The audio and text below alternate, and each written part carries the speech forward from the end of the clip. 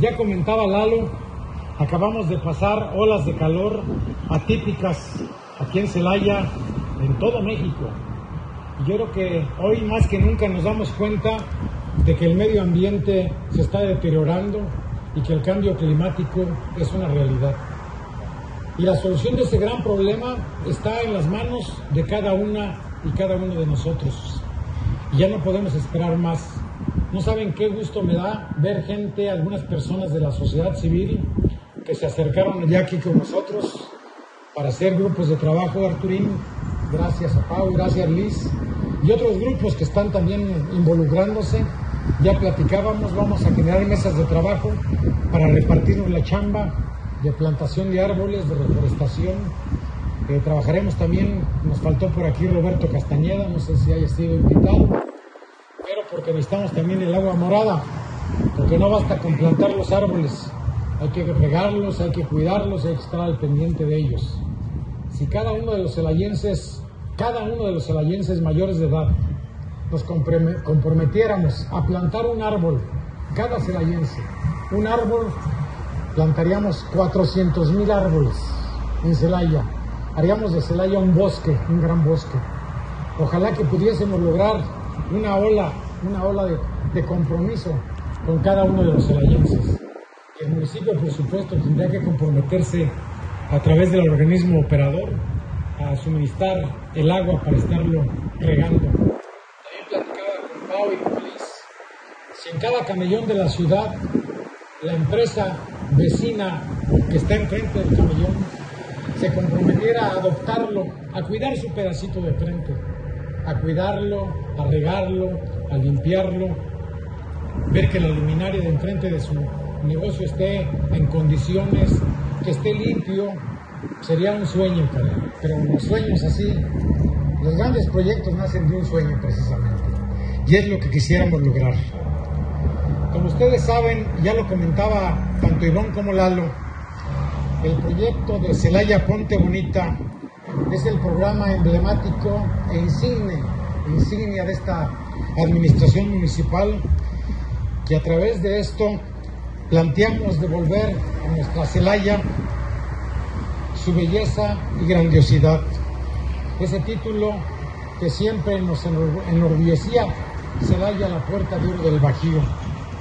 Eso queremos y en eso estamos empeñados. Pero no podemos hacerlo solos. Necesitamos también la participación de la sociedad. Y como es un proyecto que debe de trascender más allá de esta administración, pues precisamente que la sociedad lo tutele para que no al cambio de administración se quede trunco y no sabemos qué va a pasar en la siguiente administración. Lo hemos dicho antes, Celaya Ponte Bonita no solo es un programa de embellecimiento, ni tampoco solo un programa de más y mejor obra pública. Celaya Ponte Bonita es salir y apropiarnos de los espacios públicos. Que hoy tengan los niños juegos, que tengan espacios de esparcimiento en las colonias, en las comunidades, mejores instalaciones para realizar actividades deportivas y precisamente de convivencia familiar. Pero como lo comento, Celaya Ponte Bonita en su área Celaya Verde, lo tenemos que construir juntos porque es chamba de todos. Es por ello que hoy nos sentimos muy, muy contentos y muy agradecidos, Clau. Gracias, Clau Mamá. Gracias Ale Suárez, Ale Suárez Jr., que tienen aquí, ahora son padrinos de este gran proyecto del Celaya Ponte Bonita. Esta empresa eminentemente celayense, pero que trasciende más allá de las fronteras, hasta diferentes países donde tienen mucha presencia equipos y tractores del Bajío que se suma, que se suma de manera muy generosa y nos ha donado una cantidad importante de árboles, muchos ya están plantados, muchos vamos a plantarlos aquí en la parte de atrás, en los camellones de acá atrás, otros en el eje nororiente, otros en el camino, la calle que se llama El Cano, acceso al fraccionamiento magno, con puertas, etcétera, etcétera. Y bueno, está aquí, está Arturín, que él y Elisa su hermana, y lo platicaba con Pau y con Liz, nos van a hacer favor de apoyar encabezando el gran proyecto que tenemos de embellecimiento, de rescate de todo el área de la Alameda, pero no solo la Alameda como, como el centro que existe ahí, sino con todo su entorno. Y así cada uno de los espacios emblemáticos, ya se llame, ya sea la calzada, ya sea el Parque Morelos, ya sea el Jardín San Agustín, la glorieta de dos mundos, bueno, esta, perdón, la glorieta de las batallas de Celaya, los camellones de cada una de las avenidas principales, cada una va a tener un padrino y entonces cada uno se va a encargar de ayudarnos a que todos los vecinos se involucren, llegamos una, una gran ola, una gran ola verde en Celaya, para poner la muestra de que sí se puede cuando la sociedad se compromete y participa.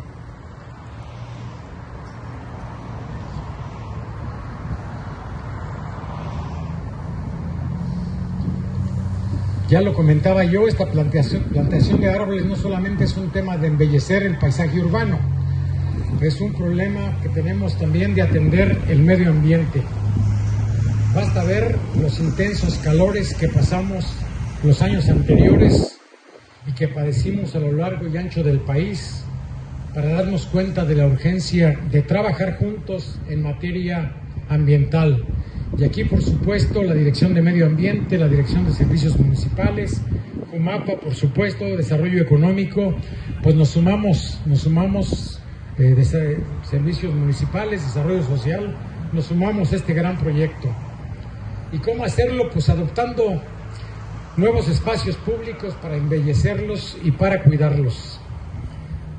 También, bueno, aquí están nuestras diputadas, tanto federal como local, que están muy involucradas, muy preocupadas y muy participativas en este gran proyecto. Ya empezamos con algunos otros espacios que hemos empezado a trabajar. Bueno, aquí los tengo y no se los voy a leer, pero cada uno de nosotros podemos ser, poner un granito de arena. Pero lo más importante es que cada uno de nosotros seamos un embajador del Celaya Verde que esto lo vayamos transmitiendo a nuestros amigos, a nuestros vecinos, a nuestros conocidos, a los amigos de las escuelas, etcétera, etcétera, para que realmente podamos alcanzar este hermoso objetivo. Bueno, para finalizar, quiero decirles que este programa, que próximamente también estará presente el gobernador con nosotros, para ver no solamente este proyecto, sino grandes proyectos de gran impacto para Celaya. Los invitaremos para que nos hagan favor de acompañar, pero sobre todo para que se sumen. Aquí están mis amigos delegados, aquí están presentes mis amigos delegados, en donde también tenemos que intervenir mucho en las comunidades rurales, en las colonias populares. Saben que en Celaya tenemos 484 colonias, tenemos 65 comunidades y cada una de las colonias y cada una de las comunidades tenemos que impactarlas. Ya empezamos a trabajar en algunas de ellas, pero ninguna se puede quedar atrás. Todas tienen que estar involucradas y todas tienen que compartir. Los invito a que se sumen, que participen activamente. Por supuesto, la academia, Juanjo, es bien importante, las escuelas, sobre todo las escuelas de educación superior que se sumen, los organismos empresariales.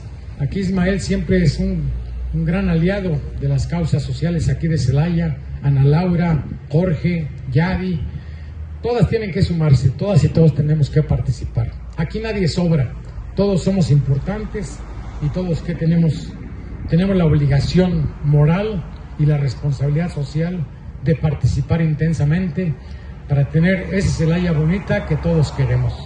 Y lo bonito también está en la reconstrucción del tejido social que es parte también para construir la paz que tanto estamos anhelando y sobre cual, la cual todos estamos trabajando. Muchas gracias, Clau, nuevamente. Muchas gracias, Clau, por su generosidad. Saludos a Ale, saludos a Ale Junior también. Gracias, Blanquis, por tu trabajo intenso en el, en el ayuntamiento. Gracias, diputadas. Gracias, directores. Gracias a la sociedad civil, a los medios de comunicación que son el conducto a través del cual podemos llegar a toda la ciudadanía. Y a ustedes, amigas y amigos delegadas y delegados, muchas gracias por acompañarnos y ojalá que este sea solamente el inicio de un brillante futuro para nuestro querido Celaya. Muchas gracias, enhorabuena y bendiciones para todos.